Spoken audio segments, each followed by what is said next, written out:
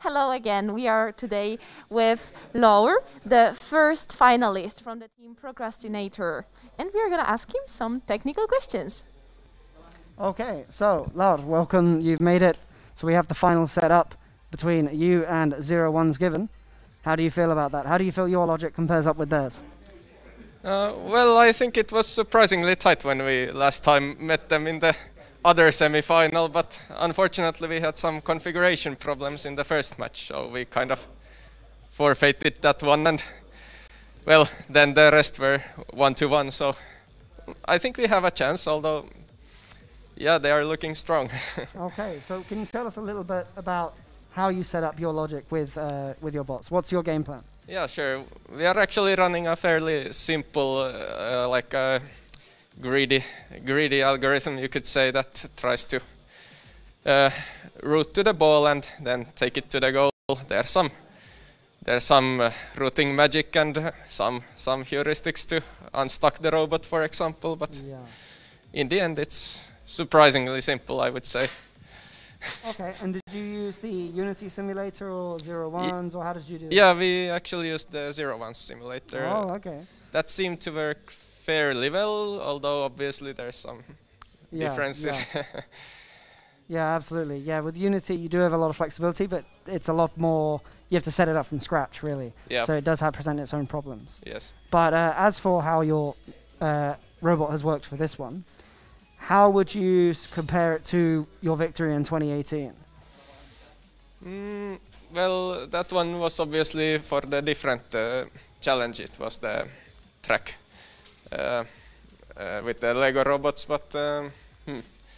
well. Uh, As in a technical challenge, how would you compare the two? Ah, right. Yeah. So I would say it's surprisingly different because I, this one is more about uh, routing and using the mm. overhead camera data, while uh, in the 2018 you have the sensors on the robot mostly. So and different kind of challenges like uh, finding a way through the maze or battling it in the arena, pushing Absolutely. the other, other robot on the side. So.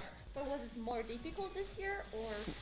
I would say overall maybe this is more challenging, and maybe it's uh, nicer to focus on like one challenge at a time because that track uh, consists of like five different pieces. Okay, well that's good to hear. We'll let you get back to it, and we'll just ask your teammate Sammy a few Thank other you. questions.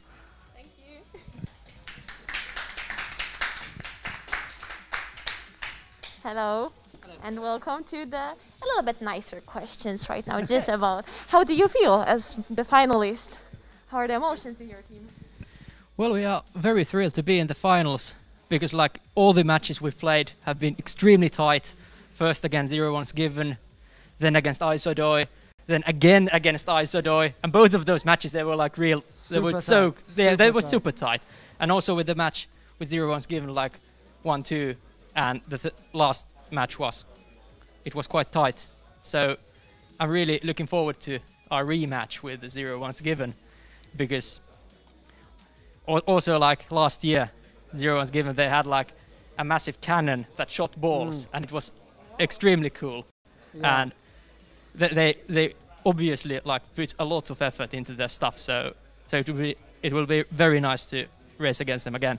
Absolutely. And I don't mean to hype it up any more than it already is, but given you're the winners of 2018 and they were the winners of 2019 and you two are in the final, this really will determine who is the current historical Robot Uprising king. How will you celebrate if you win? Well, we really haven't thought about that because we weren't that sure whether our performance would be so good that we we would be in the finals and have a chance at winning. But I think we'll have to think, th think of something. Okay. Yeah, you still have a little bit of time. Yeah. And can you maybe give some advices to our viewers or maybe even future participants?